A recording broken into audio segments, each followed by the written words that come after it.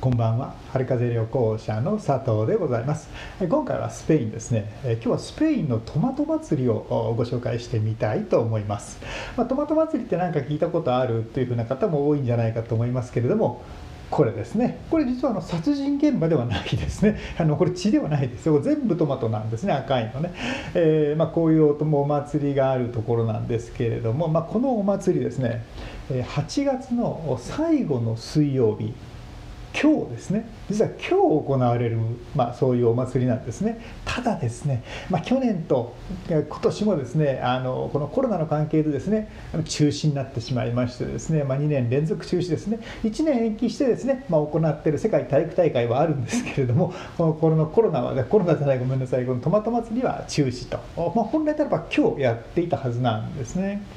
でですねこのトマト祭り一体どこで行われているのか、まあ、スペインは広いんですけれどもその中にですねブニョールというここですね。町があるんですね。この町はですねこのバレンシアあのバレンシアオレンジとかで有名なああとバレンシアの火祭りとかですね、えー、バレンシアの火祭りは3月ですけれども、まあ、この有名なこのバレンシアから車で30分ぐらい行ったところで、まあ、すぐです。本当にすぐです。でここがあの首都のマドリードでそれからここですね皆様の大好きなあのバルセロナですね、まあ、そういう位置関係にある、まあ、バレンシアからすぐという、まあ、そういう町なんですけれどもこのトマトマト祭りですね、まあ、アメリあの英語とかですね、まあ、スペイン語でも、ね、トマティーナというふうに言われるんですね。でトマティーナと呼ばれていて大体1945年頃から始まったというふうに言われているんですけども詳しいことがあんまりよく分かってない、まあ、1945年というのは終戦直後のですね、まあ、混乱期ですので。でどうもなんかそのちょっと喧嘩した人みたいしてた人がなんかそこにあったその野菜やら何やらを投げたとことがなんか始まりみたいな感じなんです。けど詳しいことは分かってない、まあ、詳しいことはどうでもいいんですけれどもこのトマティーナあですトマト祭りですねちょっとした儀式があるんですね。まず一番最初なんですけれどもここから始まるんですね。これ何っていうことなんですけどもこれですねあの数メートルの棒にですねこの塗っている白いものこれねせん、えー、石鹸なんですよ。あのツルツル滑る石鹸ですね。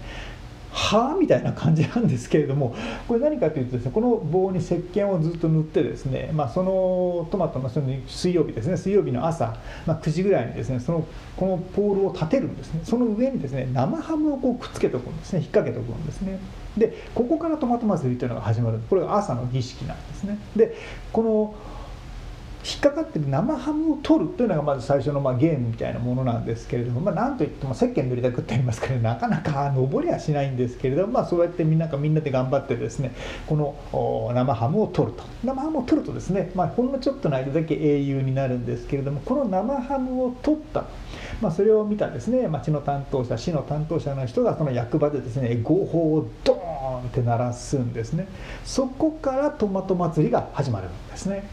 じゃあ一体その合法が鳴ったら一体何が起きるのかというとですね、まあ、市の広場あ町の広場とかですねちょっと幅の広い通りにですね、まあ、トラックというかダンプカーがですねこう何台も何台もやってくるんですね。何それ？なんでダンプカーが来るのっていうことなんですけどもそのダンプカーの荷台にこれですトマトがいっぱいあるんです。ここに人がいるの分かります？これですねあの市の担当の方ででこちらがトマト祭りに参加するためにやってきた群衆なんですね。でその投げ合うためのトマトを自分が持ってくるんじゃなくて市からですねこのダンプカー何台分も持ってくるわけなんですよ。ですからこれはその上からちょっと見たところなんですけれどもその横から見るとですねこのダンプカーの荷台からですね市の担当者の人が「これトマトやれトマトこれ トマト」ってこうトマトを投げてるわけですよね。でその投げたトマトを拾ってそこから誰から構わずトマトをぶつけ合うと。いうのがトマト祭りなんですね。もう一切何のこう躊躇もないですね。違うとにかく近くにいようと遠くにいようとトマトをぶつけ合うと。ただまあ若干ですね、えー、まあルールみたいなのはあってそのトマトってやっぱり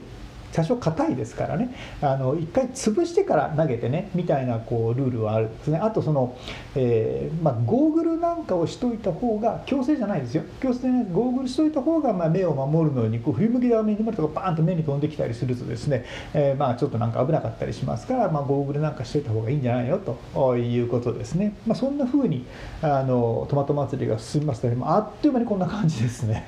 あのこの女の人この男の人です足でパンとこう下に溜まってるトマトを蹴られてるんですけれどもここちょっと分かりますかね？もうくるぶしまで足が埋まってるんですよ。これ外ですよ。体育館の中とかじゃないですよ。そのぐらいですねトマトがとんでもない量に、まあ、供給されてそれをこう拾って投げ合う。で投げ合う投げ合う落ちたものをまた拾って投げる。落ちたものを拾って投げる。踏み潰す。であっという間にこんな風になってしまうんですよ。まあ、この女の人なんかもですねこうトマトちょっと蹴られてなんかうわっみたいな感じですけれども一時期あのその合法が鳴ってからですねずっとやってますので、まあ、ちょっと疲れたなというふうに思ってですね休んでいても許してくれないです。ね このまたこの手でこうすくって投げてるのか足で蹴ってるのか分かりませんけどこの、トマトマト絨毯みたいになったところトマトの湖みたいになったところでですねもうどんどんトマトがかけられていくんですね。この人もやっぱりくるぶしまで足が埋まってますよね、まあ、そのぐらいトマトがあの多くのトマトをこう投げ合うというそういうお祭りなんですよね。でですね、まあ、もちろんルールもあってですねそのみんながこの水着だったりとか、まあ、薄着で来るわけですよね。あと白い T シャツ着てトマト色に染めちゃおうみたいな人もいるんですけれどもとにかく、まあ、女性の服には絶対触れないでねとかあのよくいますよねこういうそのイベントなんかでこう、まあ、日本日本のハロウィンなんかでもそうですけどもそのどさくさに紛れてなんかちょっと触っちゃったりするようなそういうことはダメですよと。で女性の服を引っ張るのもダメですよと、まあ、そんな簡単なルールはあるんですけども基本的にはまああの誰に何をトマトだけですよ投げていいのは。あのビールの瓶とかダメですよ。そういうものは投げて投げたらダメですけどトマトを投げていいというふうになるわけなんですよね。でですねこれその最初の合法がドーンってなってで終わりを告げる合法が鳴るのは1時間後なんですよ。つまりたった1時間のお祭りなんですね。そしてドーンとまたその終わりを告げる、まあ、あの役場の合法が鳴ったらもうそこからトマトは投げてはいけない。もうその間だけなんですね。前もダメですし後もダメなんです。その後1時間だけしかトマトを投げてはいけないと。で1時間も経たないうちにまあこんなになっちゃうんですけど見てこれどうすんのっていう話ですよね。あとあとはどうするのということなんですけれどもこれはですね、まあ、よくしたものでこれ終わった後なんですけどね。あのまあ、通りの方はです通りとか広場に関してはですね、まあ、市の散水車みたいなそういう車が来てですね水でダーッとこうあの放水していってトマトを全部流してしまうんですね。残った人たち あの体中トマトになっちゃってる人たちはどうするかというと一応市がですね用意した簡易シャワーというのはあるんですけれども、まあ、そんなもんじゃ全然これだけ人数がいてる状態ですからもう町の人とかが出てきてですねホースでこう水をかけてくれるんですね。でみんなでこのトマトのあれをトマト体についたトマトを全部落としてそして町のトマトも全部こうきれいに流してですねそしてトマト祭りはま終わると。まあ一番困るのはこの辺りに住んでる人ですよね。まあ、このそのトマトのお祭りを目当てに多くの人が来るので、まあ、経済効果っていうのは、まあ、たった1日ですけれどもそれは果てしなく大きいとは思うんですけれどもやっぱり自分家の壁とかですね あの下手したらこう窓ガラスに当たったりさ割れちゃ割れちゃうかもしれないのでそういう時はですねなんかこうみんなビニールシートとかですねいろんなこうあのそうならないようにこうちょっとしたシートここなんかシートかかってるのをこう見えますよね。こういう黒いシートとか青いシートとかですね。まあそんな風にやってる。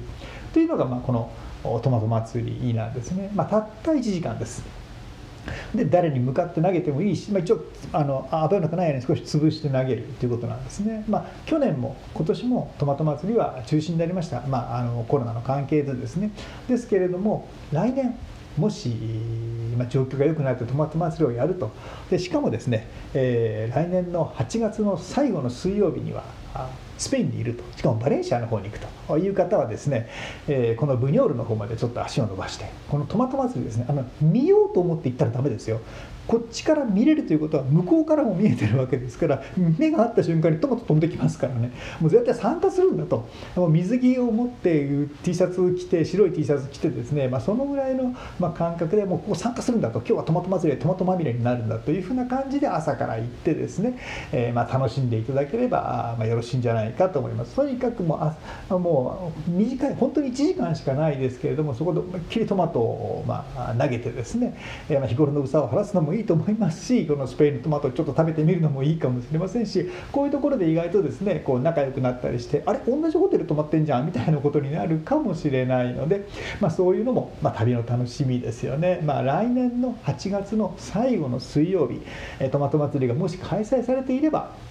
こういうことにご参加されてみて、まあ、ちょっと体験ですねされてみてはいかがでしょうか。今回はですねスペインのトマト祭りトマティーナをご紹介いたしました。それではチャンネル登録お願いいたします。ありがとうございました。